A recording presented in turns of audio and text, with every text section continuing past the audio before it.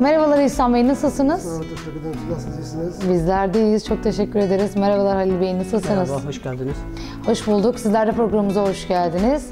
Ee, sizlerle devam edelim Halil Bey. Biraz kendinizi tanıtmanızı isteyeceğim. Ee, ben e, Halil Sönmez, Şırnak Çukurluköy doğumluyum. Ee, 90'lı yıllarında İstanbul'a geldik, Zeytinburnu'na yerleştirdik. Ee, senelercedir Zeytinburnu'dayız.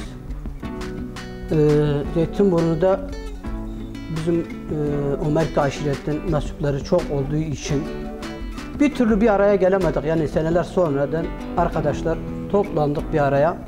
Böyle bir derneğe karar verdik. Kararımız da iyi olduk arkadaşlarla oturup e, birkaç toplantı yaptık. Toplantıdan sonra karar verdik böyle bir derneğe. Dernek açtık. E, şu anda da çalışmalarımız şöyle diyeyim. e, daha yeniyiz, daha bismillah. 2018'de kuruldu burası. 2018'de kurulduk. E, yavaş yavaş daha fazla bir şeyimiz, çalışmamız yavaş yavaş oluyor. Daha fazla bir çalışmamız olmadı. Derneğimizin amacı nedir? Derneğimizin amacı yardımlaşma, dayanışma derneği. Daha ziyade olarak kuruluyor burası. Ee, kim olursa olsun fark etmez. İnsan olsun. Yeterlidir ha bizim e, Amerika aşiretten olmayan insanlar olur. Türk olsun, Kürt olsun, Arap olsun, Süryani olsun. Fark etmez. Yani biz hiç bir ayrım yapmadan e, sürdürmekteyiz. Ve başkanımız İhsan Bey. Size de biraz tanımak istiyoruz. Benim adım İsa Kaya. İdil Şırnaklıyım. Amerika Şirketi mesulüyüm. 28 yıldır İstanbul Zeytinburnu'dayım. Başkanımız anlattığı gibi böyle bir karar verdik. Çok güzel bir karar vermişiz. Biz daha önce bu kadar bizim Amerika mesulleri bu kadar fazla İstanbul'da yaşlandığını bilmiyorduk. Biz bu derneği kurduktan sonra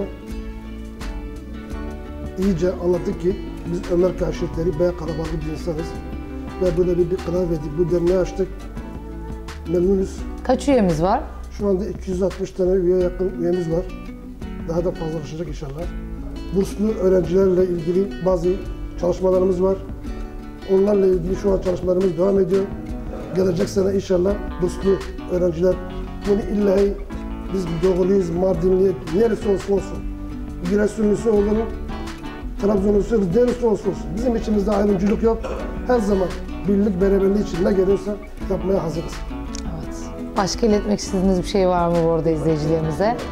Yok şu anda e, yapılacak bir şey yok. E, böyle bir şey yaptığınız için de teşekkür ediyoruz size. Biz de size teşekkür ediyoruz. Değerli bilgiler aldık. Bir başka programda görüşmek üzere diyelim.